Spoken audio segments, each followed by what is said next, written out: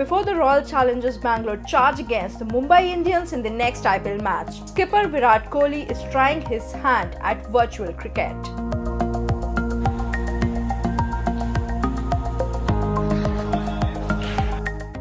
While Virat had fun hitting shots in the virtual game called IB Cricket, wife Anushka Sharma had a few cricketing tips to offer.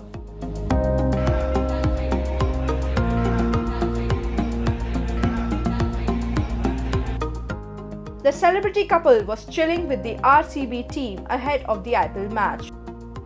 For those of you who don't know, IB Cricket is a virtual game which aims to give realistic, action-packed experience of playing cricket in world-class stadiums. Custom-made electronic bat is used to play this game.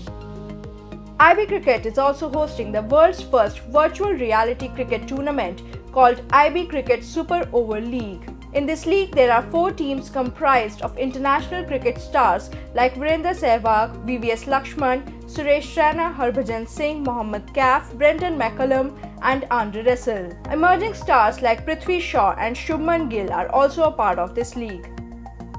Each episode shows two cricketers competing against each other while the other cricketers give their comments and offer tips on how to play the game. Cricket commentator Gautam Bhimani and TV actress Nia Sharma are hosts of the league. The show is streaming on OTT video service Viu since March 15.